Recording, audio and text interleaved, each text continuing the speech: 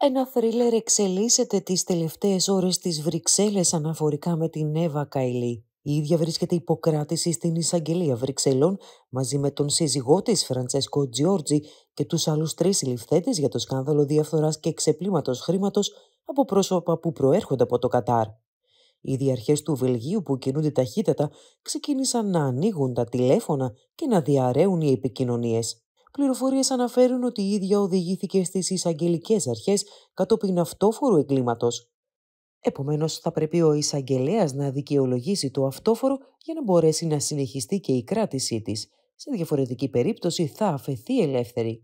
Η βελγική αστυνομία χρησιμοποίησε σύγχρονες μεθόδους καταπολέμησης του οργανωμένου εγκλήματος, μεταξύ των οποίων και οι τηλεφωνικές παρακολουθήσεις.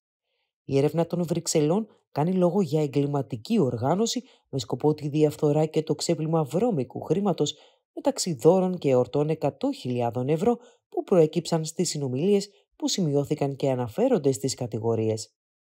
Η κόρη και η σύζυγος του Παντσέρη, του ηγετικού μέλους της ομάδας που είχε αναλάβει το ξέπλυμα του Κατάρ, είχαν πλήρης επίγνωση των δραστηριοτήτων τους και φέρεται ακόμη να συμμετείχαν στη μεταφορά δώρων που προσέφερε ο Μαροκινός πρέσβης στην Πολωνία.